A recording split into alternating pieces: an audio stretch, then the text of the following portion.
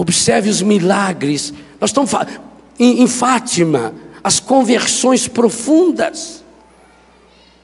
A gente vê até aqui no Brasil, os homens parece que ficam controlando a emoção. E na hora de rezar em línguas, manda rezar em línguas. Hoje nós vamos terminar com a oração em línguas. Laércio, por favor, você já vai treinando. Porque eu quero primeiro ouvir um coro de oração em línguas só dos homens.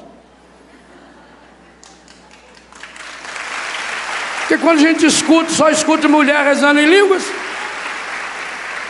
E vou dizer uma coisa aos seis homens, hein? Principalmente os mais safados sem vergonha. Se você não aprender a rezar em línguas, você está completamente perdido. Porque a grande maioria dos homens já estão laçado, amarrado, estraçalhado pelo encardido e ainda acham que são os tais, porque falta-lhes a fé carismática. A fé carismática me leva, ou leva-me, tanto faz, a conscientemente descobrir, eu fui chamado a ser parceiro de Deus. Deus é meu parceiro.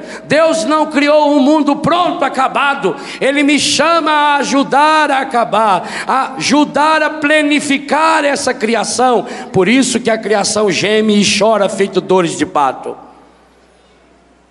Para isso eu preciso perder a autossuficiência.